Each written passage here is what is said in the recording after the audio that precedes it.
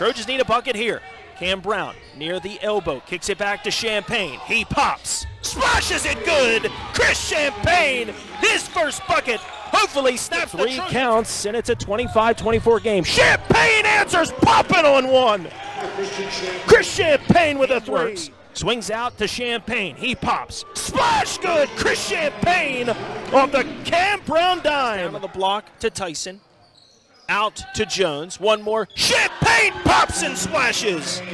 Chris Champagne's got seven. Lamont pass down onto the elbow. Gets stolen by Chris Champagne. That's his first.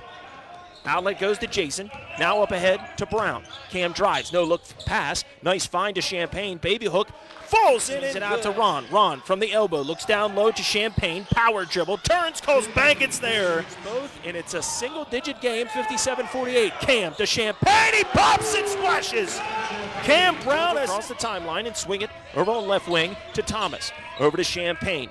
Free for three. Fires, and it's there. Chris Champagne. Champagne wide open for three. The nail.